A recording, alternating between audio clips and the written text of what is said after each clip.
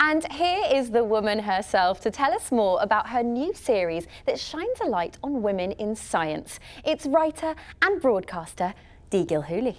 Uh, just to clarify, by the way, some viewers may mistakenly think that your second name is Hooley and your first name is Deagle. In actual fact, your second name is Gilhooly, your first name is Dee. That's a full name, not an initial.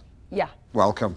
Wicked to be here. Cool. So you're perhaps best known as one of the regulars on Radio 4's Woman's Hour. Which, by the way, guys, well worth a listen. Oh, I wouldn't have had you down as a fan, Alan. Well, it's, an, it's a curious story. I was actually uh, stuck in traffic and Classic FM were playing music from an advert which I dislike. So I found myself listening to Woman's Hour and I thought, this is actually good. Tell your friends. I did. I told 10 men and they will tell 10 men and they will tell 10 men to tell 10 men to tell 10 men. It sounds like the kind of song you'd sing on a coach trip, but it's actually true. Now, your radio series focuses on trailblazers and groundbreakers in the field of science. Bang on, yeah. It's a chance for some brilliant, lesser-known women to have their stories told, you know what I mean? So, uh, with all due respect to your Ada Lovelaces or Rosalind Franklins, we're going to be looking at women under the bonnet, as it were, um, the fuel in the turbocharger because there's some fascinating women here. We're talking Vera Rubin, Nettie Stevens, yeah. Cecilia Payne. I mean, brilliant women. Oh, kick-ass women. Yeah, Cecilia Payne's actually is an amazing story. A British astronomer got her doctorate at 25, boom. and she wrote a paper on the composition of the stars, but was persuaded not to publish it by her colleague Henry Norris Russell. Years later, her findings were published and credited to, you've guessed it. Henry Norris Russell? Bingo. You still with us, Alan? The, yeah. I'm sorry to, actually makes me physically sick to say this, but I was miles away, which shows this is a real problem within men, isn't it? Um, what I will say, the purposes of clarification, is um, you don't put fuel in a turbocharger.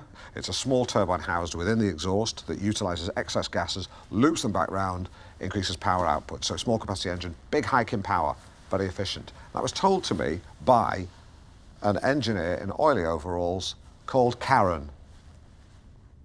Woman. Fair play. Yeah.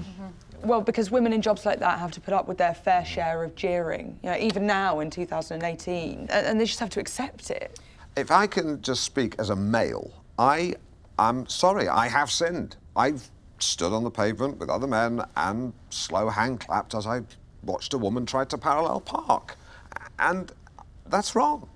And I, I think if I saw the same thing happen today, I would just, you know, shout out instructions. Or just leave her alone. Yeah, I'd shout out instructions or just leave her alone. I'd ask her which she prefers. Or just leave her alone. Or just leave her alone. Yeah. These issues need to be aired by women. We're still seeing powerful men harassing women when all they want to do is do their jobs and be left alone. Amen. hey, women.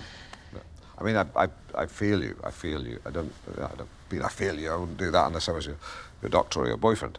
But I totally identify with what you're saying. Well, I, I think the me too's a woman thing, yeah, really, exactly. isn't it? I mean, I'm not sure it's that helpful for a man to presume to know what that's like, to be honest. But anyway.